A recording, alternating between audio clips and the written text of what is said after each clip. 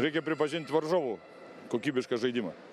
Visi pataikė, jie pir, pirmoji rungtynė pusėje net nemetė baudų, jam nereikėjo. Jie metė tritaškiais ir dvitaškiais ir išmušė, aišku, mūsų žaidėjus ir paskui čia jau galima ieškoti priežasčių, kodėl baudas neįmeta ten, galima devynias baudas pramesti.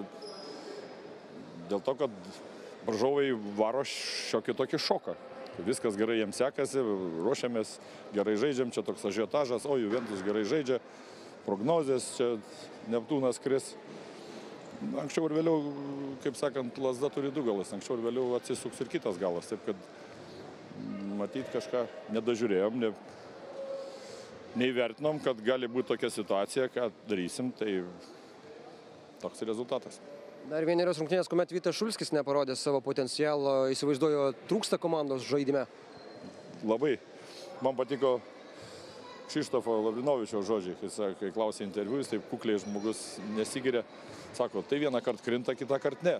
Tai būna gyvenime. Taip ir čia. Matyt, žmogus dabar, Vytas turiu menį Šulskis, matyt, nėra tokioj formai, nėra tokia psichologiniai būsenai.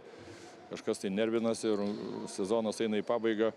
Aišku, norėtume, kad žaistų taip, kaip sužaisdavo geriausias rungtynės ten. Norėtume, bet vieną kartą krenta, kitą kartą ne. Keturi sekmaniai išėlės, kuomet Utenoje kovojate su praktiškai čempionato lyderiais, kaip vernat savo komandos pasirodymą per tos keturis sekmadienius. Dar vienas rungtynės, jeigu būtume laimėję, tai vertinčiau gerai. Dabar iš keturių vienas nelabai kažkaip. Iš keturių vienas laimėjęs, taip ir lieki tam ketvertukė paskutinės. Du, du laimėjęs, tai gali ten būti